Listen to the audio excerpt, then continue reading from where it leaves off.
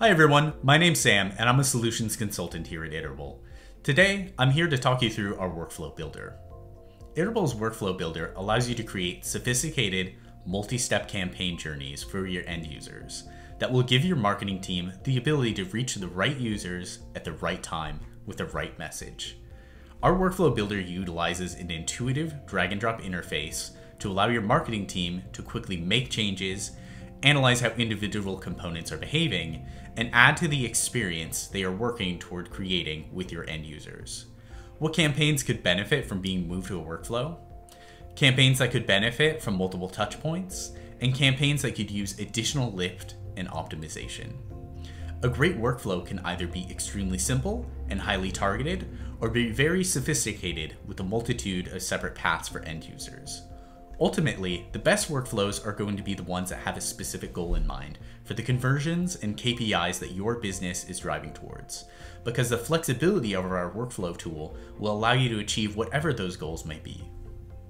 Jumping into the console, I have an example abandoned cart series here that I've created for an e-commerce customer. Multi-touch campaigns like this are going to come in handy with the upcoming holiday rush to ensure that you're converting users who may be overwhelmed or distracted by the other Black Friday deals they are receiving. From top to bottom, this tool will give your marketing team the ability to completely control the user's journey without the help of your engineering team. At the top, we have the trigger node, which gives you a multitude of ways to kick off a campaign. For this case, we've chosen the Abandoned Cart series to start the campaign. From here, your marketing team can easily define how long they want to wait to kick off the next step in the journey. The value here is that you can make sure that messages are being sent at the right time for the end users to ultimately increase their chances of engagement. Quickly match the time zone of the message sent or delay it from a specific time field on the end user's profile, such as the last login time. Now we can choose to send a follow-up message.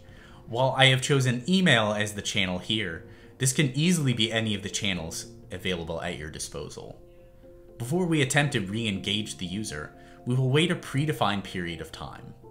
This customer had determined that weekend messages tend to be ignored, so we chose to skip those days of the week to ensure the highest odds of user engagement. Next in line, our filter node gives your team the ability to quickly create sophisticated segmentations that with other platforms will either require extensive engineering work or time to implement. Now we have defined the exact criteria for which path the end user will now go down. In this example, we have chosen to check that the user has opened the message sent to them, and further down the line, this can easily be used to check if a user has completed a purchase. From the filter node, your marketing team now has the ability to determine what channel, under what circumstances, the end user will receive their next touchpoint. If they haven't checked their email, then they will receive messages from different channels to try to engage them in a more optimal way. While we can choose to go down and re-engage users in the workflow, we now have the start to an excellent series that will drive up your conversion rates. Thanks for tuning in, and if you would like to learn more about our workflow, please reference our guide below. And if you want to talk about this in further detail, please reach out to us and our experts would love to chat with you.